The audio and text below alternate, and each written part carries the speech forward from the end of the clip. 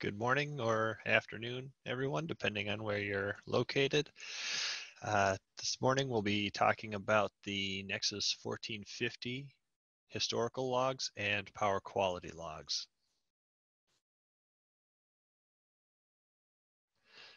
So anyone who did not see uh, yesterday's presentation, this is what the Nexus 1450 looks like. This is a new version of our Nexus 1250 and 1252 meters. Uh, anyone familiar with our Electro Industries products may already be familiar with the log viewer software that comes with our Communicator EXT program and now Communicator PQA program. Uh, the log viewer is how you would view logs from our Shark 200 series meters, our other Nexus meters. The 1450 meter is unique where we now have a web browser on the 1450 where you can view the logs. So I will go into that right now. So up here we have the web page of the Nexus meter. If you enable security on the meter itself, where you would need to log into Communicator EXT. You also have to log in to the web browser.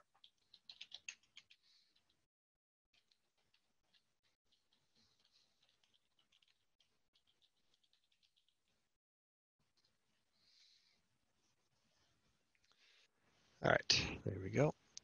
Uh, you may recognize this from the other presentation as well.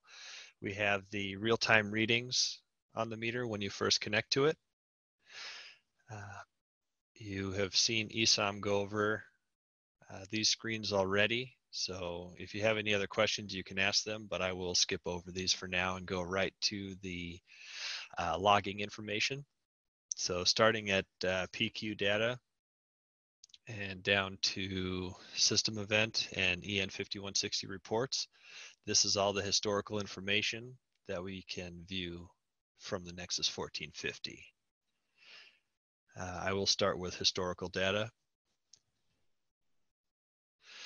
Uh, those of you that are familiar with the Nexus 1500 plus meter, we have historical logs one through eight, just like the Nexus meter. On the 1450, we've added a new log called the core log. What this does is it takes 142 of our most commonly asked for points and starts logging it right once the meter is powered up. This way, if the meter's installed and a couple months down the road you want to see if there is um, specific information inside the meter, typically that information would be found in this log. To find out what those parameters are, over here, we can select this log. And now these are all of the points that are being recorded in our historical core log.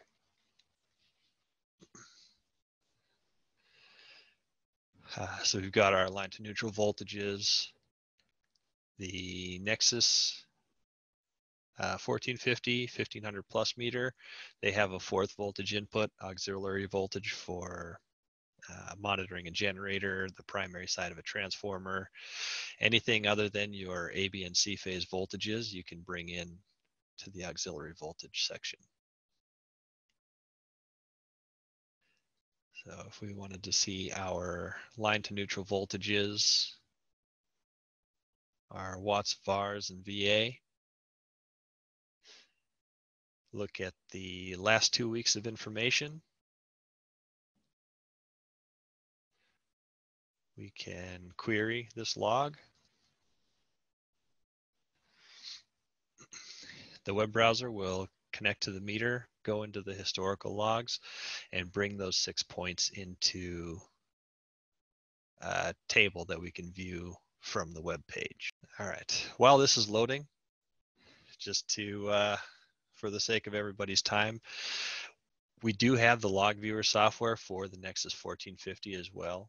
So if you don't have the web browser enabled, uh, if you're running into uh, slow internet connections like I am today, uh, we still have Log Viewer where you can retrieve the logs from the meter and uh, view historical information that's saved onto your computer.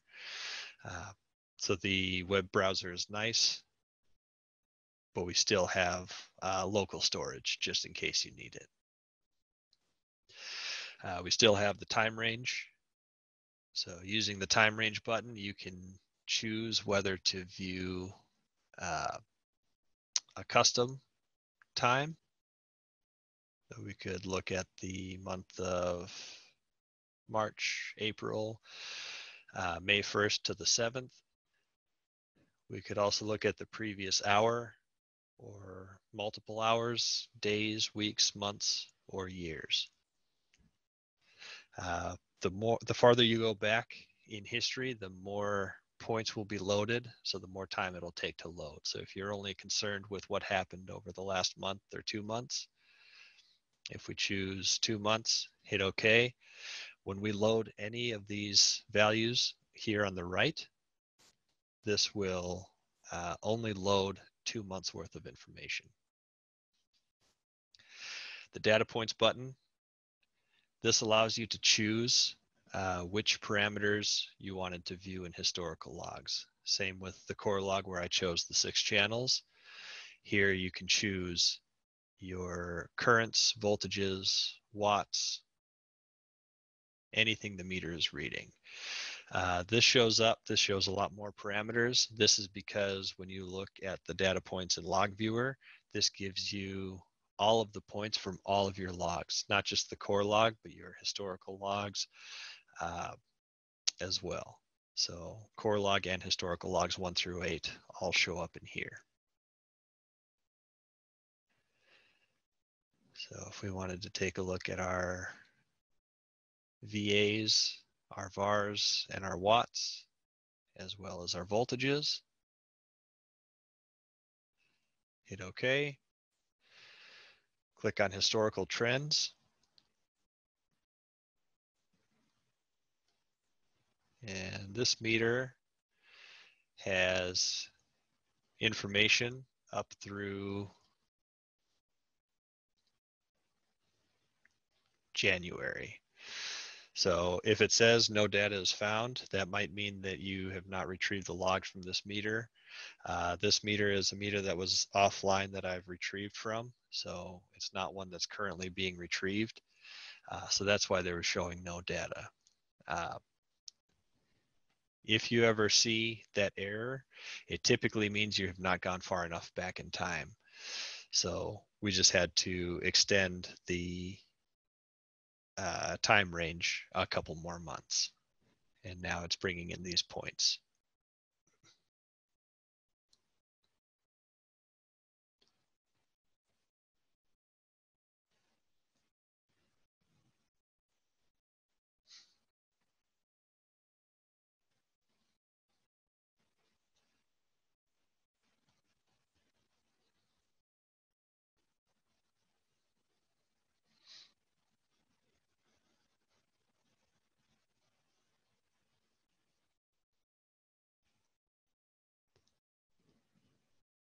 All right. So here you'll notice a couple blank spaces for the voltages while we have readings in every row for the high speed volt amps, VARs, and watts. So one of the other features of being able to record parameters in historical logs one through eight is you can put specific items in a log and have them be recorded at intervals of one minute, five minutes, uh, 15 minutes every hour. So that's that's what this case is is showing. We're recording power readings every minute while we're only recording voltages every 15 minutes. So that's why you're seeing these values here but you're only seeing this one line at the 12 o'clock mark. If we scroll down, you'll see at 1145 we have another set of readings. And we still have the power readings at 1145 because we're recording every minute. So uh, that's why you may notice this on some of your logs when you look at them where you have full sets of readings over here, but only sporadic readings on, on another set. That just might mean that they're in different logs being recorded at different intervals.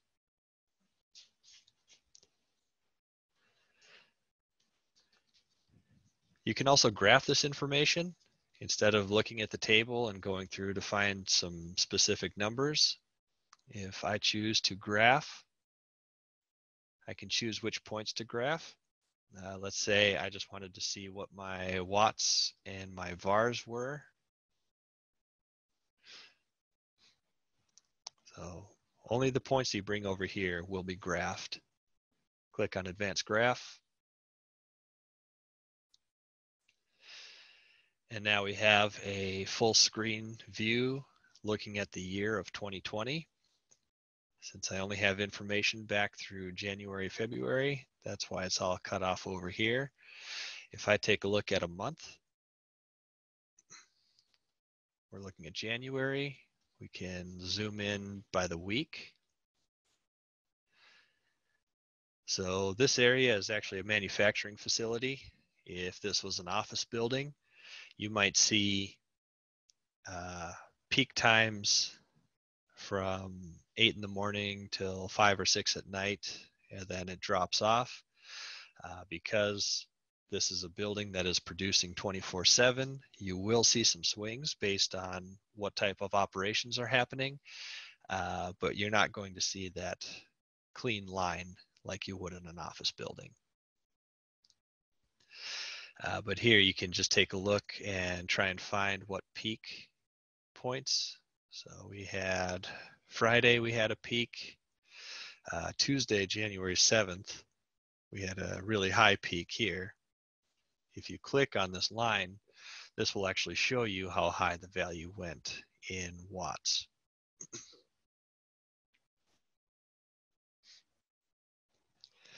So we had about a peak of 18 megawatts right here.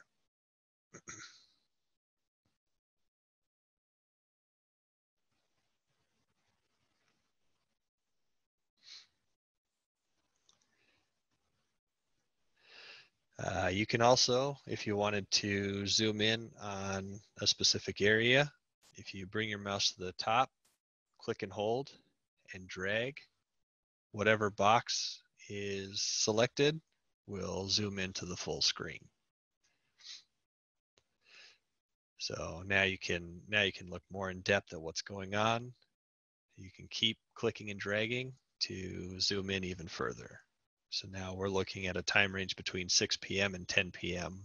on January 3rd. Once you want to go back to full screen mode, just click undo zoom and it takes you back to view your week.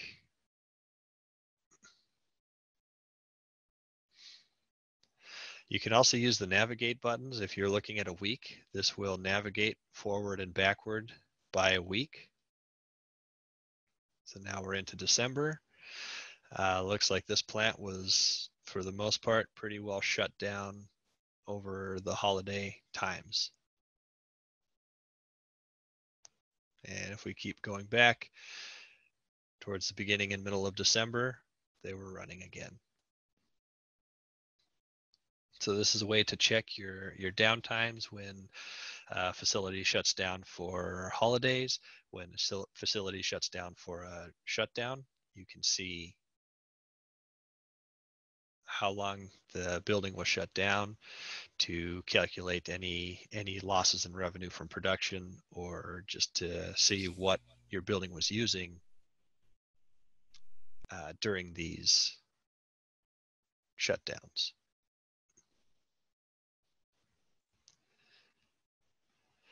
We do have one single vertical scale.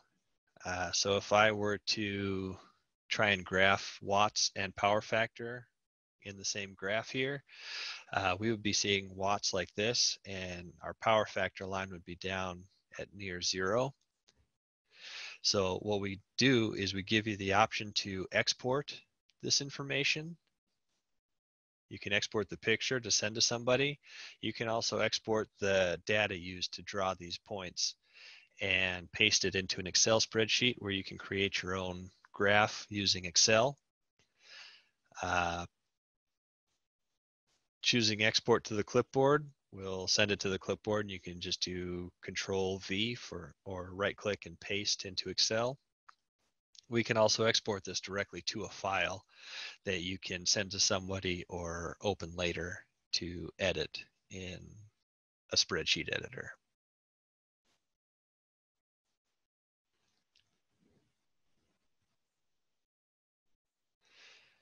We also have a direct print option. Uh, this this seems to be only doing black and white right now. Uh, so if you do want to print this picture in a colored format, if you use the export button, export it to an image file and print that image file, then you can get a color image printed.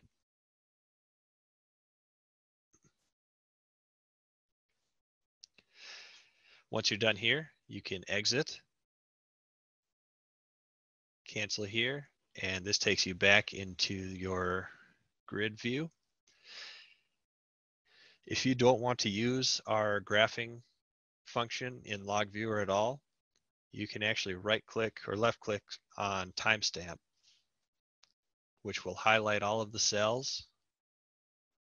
You can right click and copy to the clipboard with header and now you can paste all of these values into an Excel spreadsheet so you can create your own uh, graphing uh, chart, however you want it to look. Uh, you can use the multiple access axis or uh, color in the graph however however you need to do it for your reporting.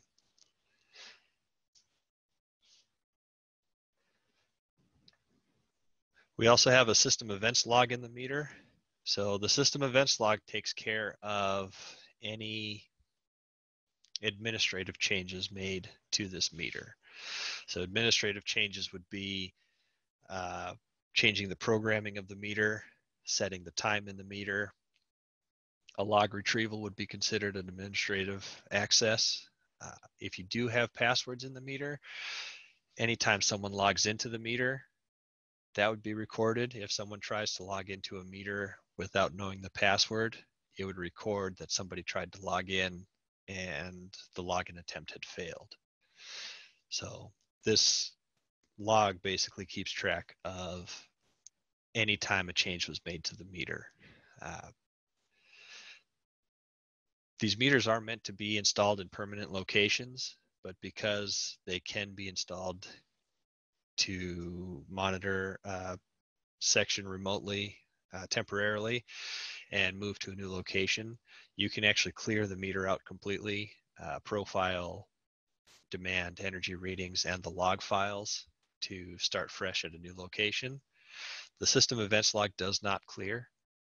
Uh, there is no setting to clear the system events. And this is to help prevent tampering so someone can't get into the meter, make some changes, and clear the system events to cover their tracks. Uh, that is not possible. The only way to override an event in system events is to have enough events happen after that event to overwrite before the log gets retrieved. Uh, by default, the way this is set up is you need to have over 2,000 events happen before the oldest point is overwritten. Uh, so here we can see a bunch of log downloads. It tells us who retrieved the logs.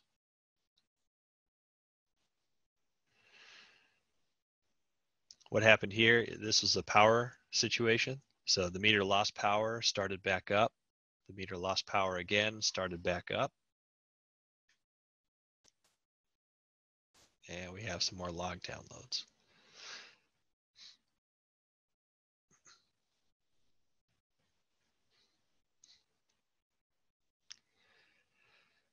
We also have power quality capabilities.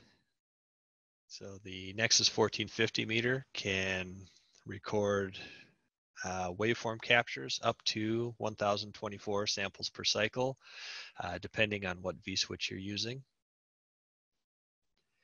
So any waveforms that get recorded will show up here.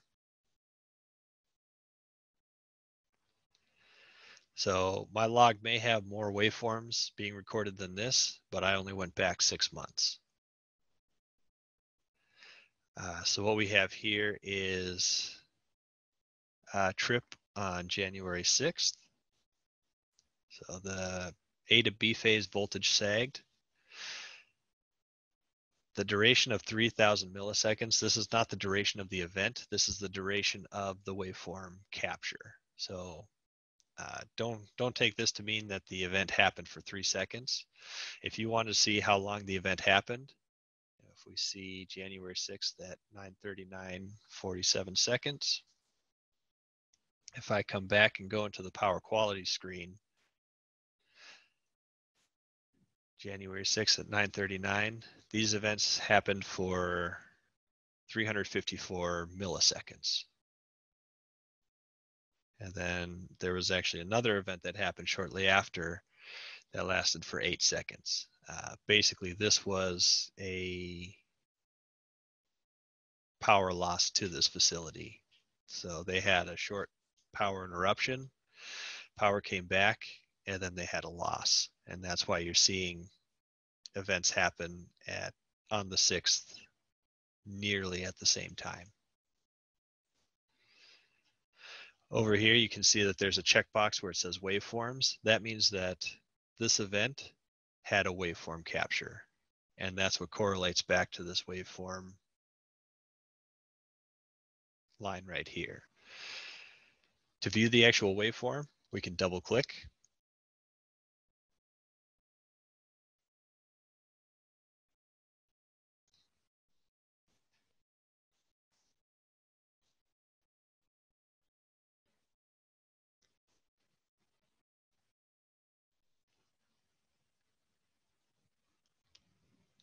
And this takes a little bit. Uh, these meters, again, they can record up to 1024 samples per cycle. So what this is doing is it's drawing those graphs of the waveform captures on your voltages and currents. And that's what might take a little bit to, to draw that for you.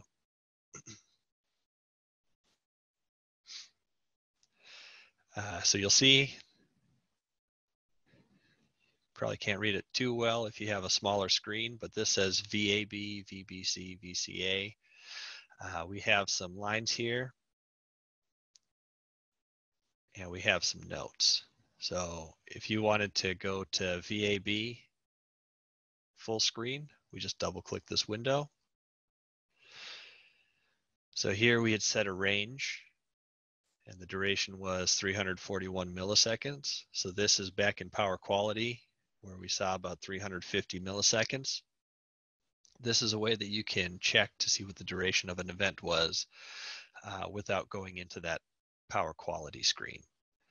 To set a range, you simply right click, annotations. You can set up to four ranges for each waveform.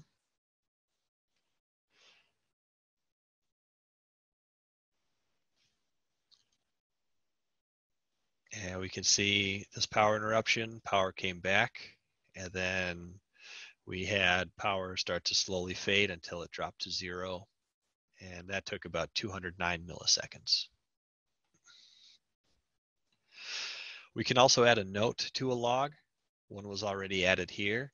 So the nice feature about adding notes to logs is if you had an event happen you can log in, you can view the waveform, you can right click and make a note so that when you have to come back and look at this meter a week, a month, or six months down the road, you don't have to try and remember what happened.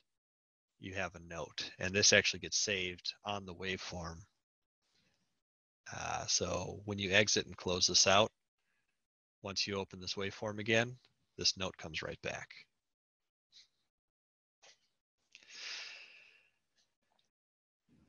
We can look at waveform details. So this will show you cycle by cycle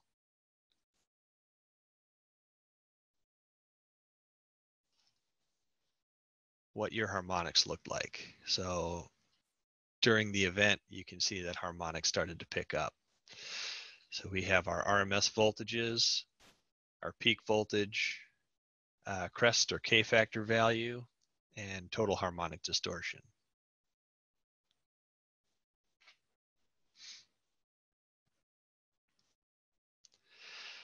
We can also view interharmonics.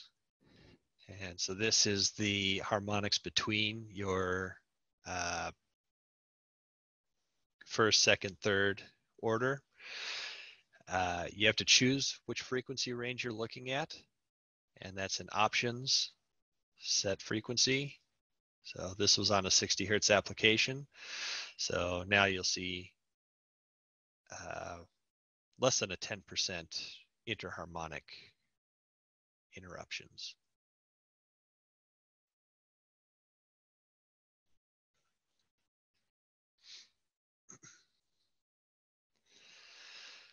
Just like the log viewer graphing feature, you can export these pictures to send to someone. You can also export the data that's used to draw these pictures, either in this advanced uh, waveform detail,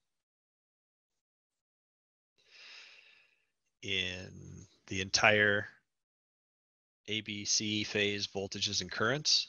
We can export all that information, send it into Excel again, uh, create your own waveform graphing.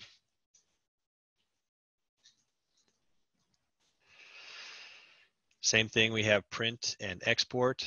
If you do want a printed picture of this waveform, we recommend you export the picture and print it from a picture viewer.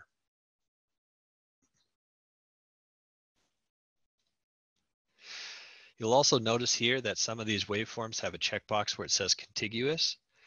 This contiguous checkbox means that this V to B phase sag happened after the A to B phase voltage sag, but during this three seconds. So even though we captured this B to C phase voltage sag in here, uh, because it happened at a different time, the meter captured a new waveform. So if we try and double click and view this waveform, uh, you'll see that everything was off already. So there's actually no trigger point that shows where the event happened on this waveform. That's what that checkbox for contiguous means. In this case, we're going to be showing uh, zero volts and zero current because of the outage. Uh, but in other cases, if you just have a power interruption, when you open this, you might see just a perfect sine wave and no distortion. So if you do notice that, it's not necessarily an issue uh, with the meter. More likely what it means is that an event happened previously during the previous waveform capture, but after the initial trigger to cause a new waveform capture.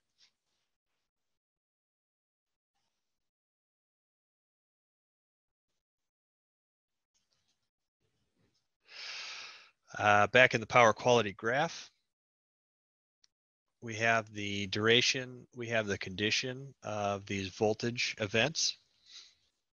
You can also graph this uh, it used to be called a CBEMA curve. It is currently called just a power quality graph. Uh, basically, this curve was made to represent uh, power quality events that happen, any power quality events that happen within this area are events that are supposed to be considered okay for equipment on a electrical system. This is not a hard and fast rule. Uh, this is more of a guideline for general pieces of equipment. They are typically supposed to be designed to handle power quality events here. So you will see there are some events down here. So these events would be considered events that could potentially uh, cause equipment to malfunction or or lose calibration. And so these are the events that we'd actually be concerned about that we'd want to look at.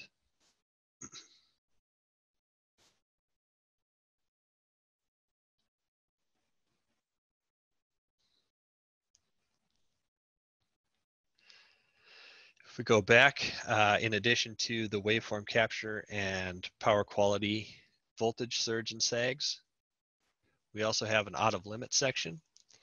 So if you wanted to monitor when power factor went outside of a certain value, uh, if your demand went above a certain value, if you wanted to monitor frequency going above or below acceptable ranges, you can set all that up in the meter profile and this will show you, uh, in this case, we had frequency drop to zero, lasted for six seconds. This was again during that outage. Uh, when everything came back up and running, we had a spike in frequency and that lasted for 0.05 seconds.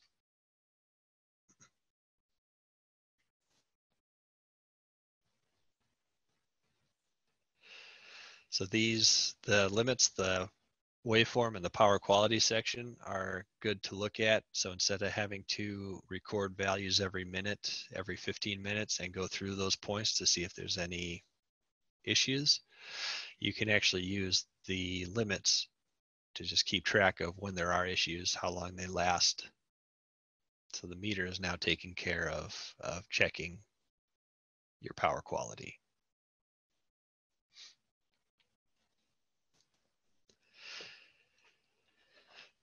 If you have other software that does power quality reporting, our meters can give you PQDIF and ComTrade file formats to import into third-party power quality systems.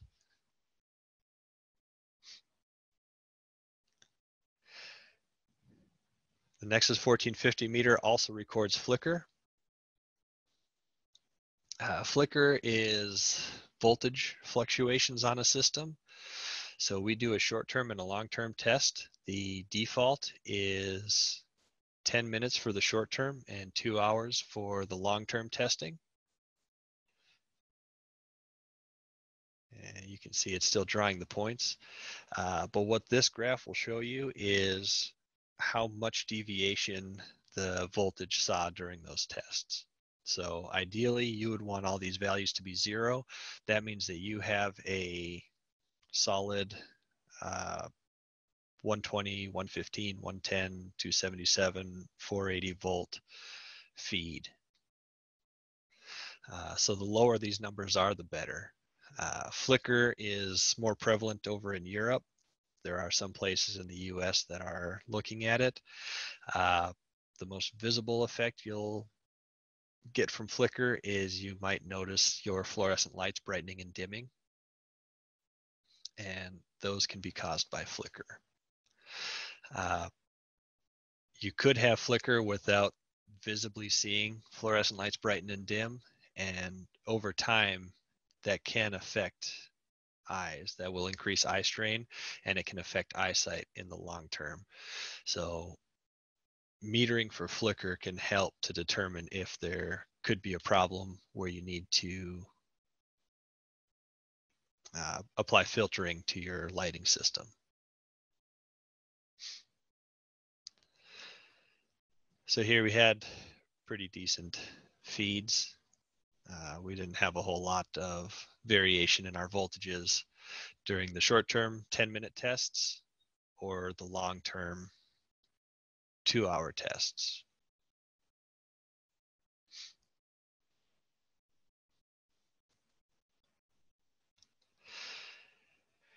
And then we have the EN50160 report. So what I was talking about earlier with the third-party power quality analysis software, our Nexus 1450 internally will give you a power quality report to tell you weekly if you have any events that uh, pass, fail, or are of a concern. So on a weekly basis, you can just log in, check these logs. If everything is passed, you're good to go. Uh, if you, in this case, we do have a concern. If you want more details, you can click this line, hit graph. This will generate the report. And once the report's been generated, a PDF copy of the report will show up. You can save it, you can send it, uh, you can just read through it and see if it is something that you need to be worried about.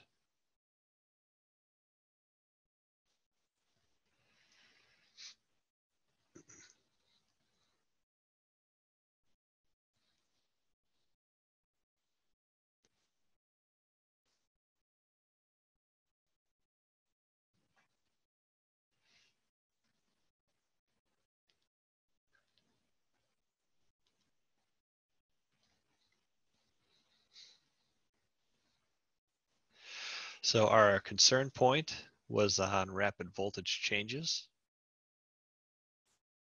Uh, here we have meter information. And then we go into the details. So our power frequency was steady, that passed. Our supply voltage variations, uh, you can see throughout the week, there were changes in the voltage, but they were all within acceptable limits. So here's our rapid voltage changes where we had the concern. So if I zoom in on this page a little bit, you get a little documentation as to what we're looking at for rapid voltage changes and what the acceptable values of these changes are. And then down towards the bottom of the screen, most of our changes happened within the plus or minus 5%. But you can see there is a short where we had a sag between uh, 5% and 10%. And so that was on the B phase where we had this event. And that's why we had the concern. So it might be something you need to be concerned about. It could have just been a fluke event and it might not happen again. That's why we call that a concern.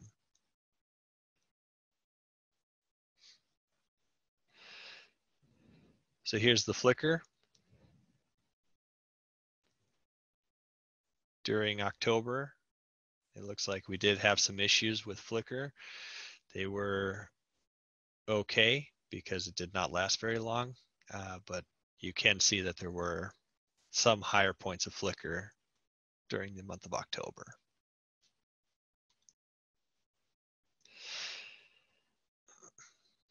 Short-term test, everything was fine. Uh, nothing, nothing out of the normal there. Uh, supply voltage dips, if there were any issues. It looks like there were a couple of dips, but nothing that was outside of acceptable values. Here we had uh, 70 to 80% dip on C phase and 70 to 60% dip on A and B phases.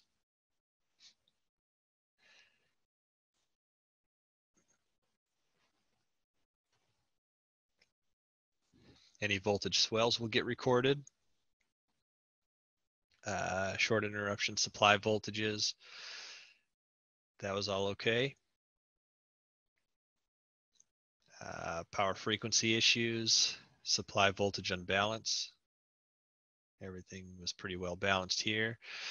Uh, we did not have any issues with harmonics, so those were those were all within acceptable limits as well.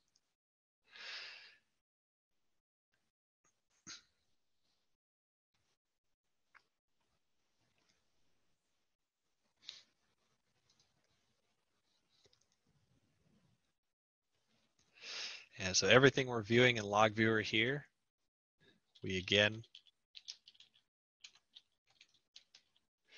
have access through the Nexus 1450's web page. So if you don't want to use Log Viewer, you can give individuals access to the historical information from the web page.